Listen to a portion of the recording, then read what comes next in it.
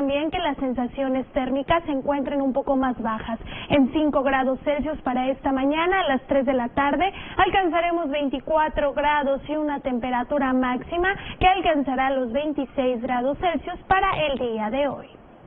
Además, para los próximos días, jueves, viernes y sábado, terminaremos la semana con cielos parcialmente nublados predominando. Para el día sábado, mejores condiciones estarán despejando un poco más los cielos con temperaturas mínimas que continúan siendo un poco bajas, sobre todo matutinas, entre 5, 6 y habrá un descenso para el sábado de los 3 grados Celsius máximas que también estarán pero de manera ascendente entre 27, 28 y 29 grados estarán templados de templado a caluroso las temperaturas.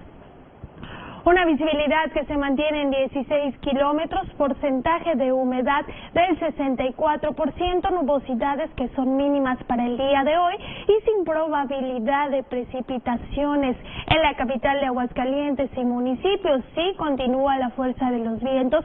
Este en este momento en 6 kilómetros por hora. Le reitero, entre 15 y 30 kilómetros serán las ráfagas máximas para el día de hoy. Presión atmosférica estable de 1017 milibares Además de que han transcurrido ya 46 días del año 2023, donde tuvimos el día de hoy un amanecer a las 7 con 22 tendremos y también nos espera una puesta a las 18 con 48, nos esperará esta noche luna menguante y en total tendremos una duración del sol de tan solo 11 horas con 26 minutos.